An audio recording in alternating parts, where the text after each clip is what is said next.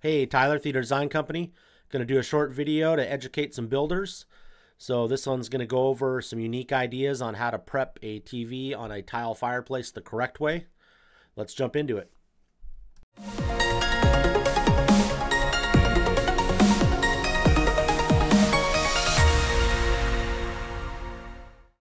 All right, so let's jump into this. So what we got is a basic tile wrap fireplace.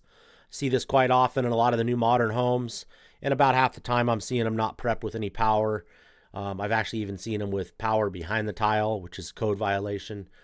And majority of the time, the builders are just running, you know, a power, a duplex power outlet, and then a brush plate with a conduit behind it, nothing else.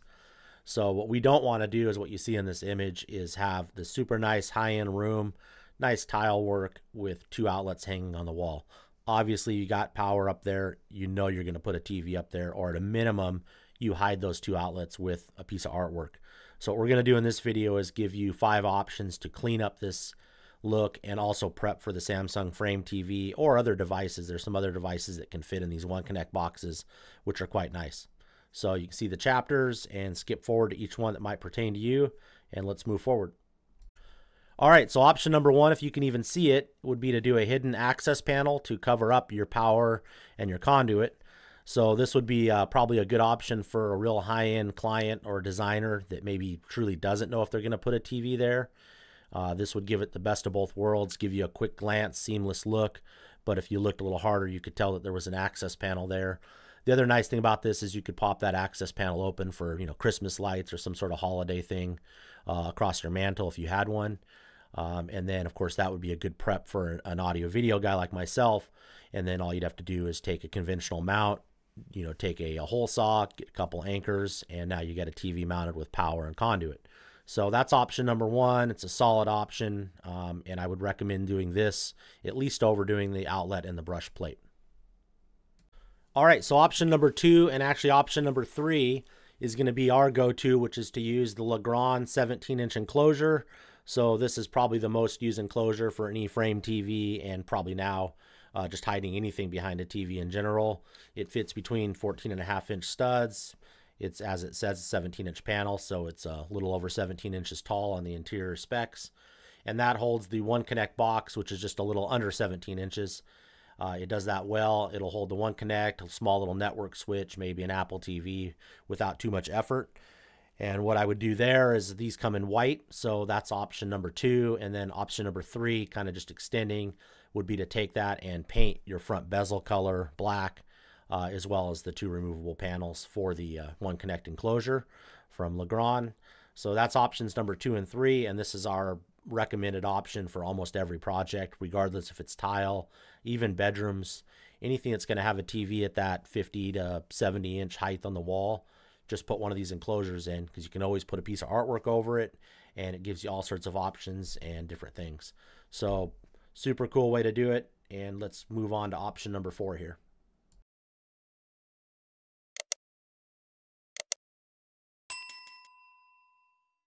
All right, so let's jump into option number four.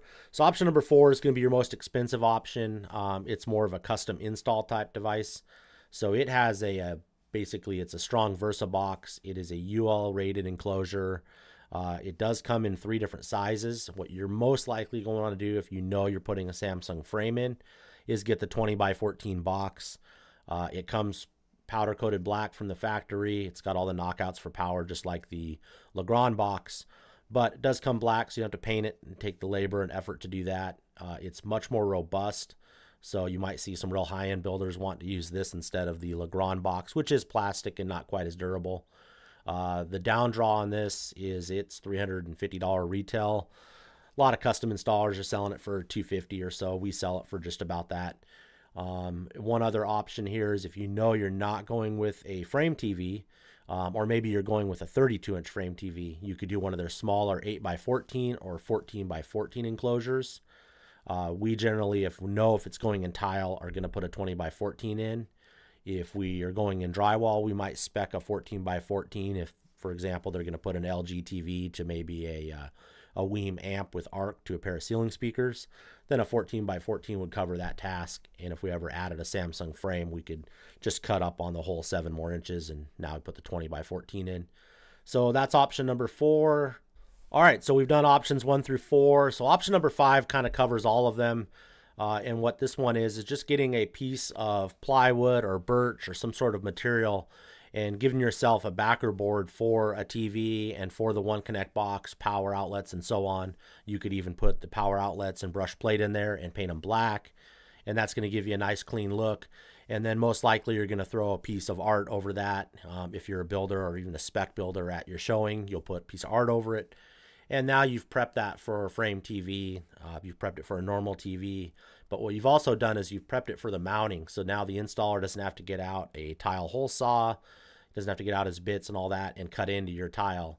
And then where I really recommend this option, and I've seen this not done, is on customers and builders that have like a book matched marble, you know, full wrap fireplace where that marble slab was probably more than any TV they're ever going to buy for that space and they're expecting an audio video guy to come in there and mount a frame TV on the wall and use a hole saw and hole saw into a piece of slab or tile that could be five, ten thousand dollars. So, and I've got actually a builder that has wanted us to do that on three jobs now, and he's finally got it that he put in a piece of backing in, and every customer that he put these big marble slabs in, they went ahead and put a TV in. So he saw all three of these customers put these TVs on top of this really nice book matched marble in their living room, and now he's decided to allocate these spaces. So anyway, that's option number five with a little tiny rant uh, to try to get this stuff done and try to educate these builders. Um, anyway, if it helps you out, subscribe. Uh, links to below to a few of the products. Obviously, the strong boxes, that's a custom install type thing, so you'd have to buy that directly from us. And thanks for subscribing. Thanks for watching. Have a good one.